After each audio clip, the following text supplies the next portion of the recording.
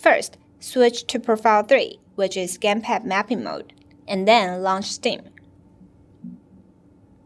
Second, follow the below instruction.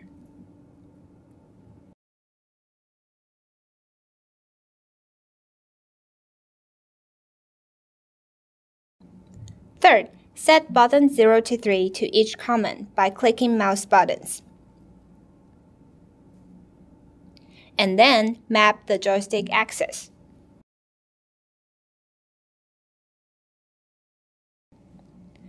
Press Escape on your keyboard, then click Save to complete. Don't forget to switch back to Profile 2, which is analog mode, before entering the game.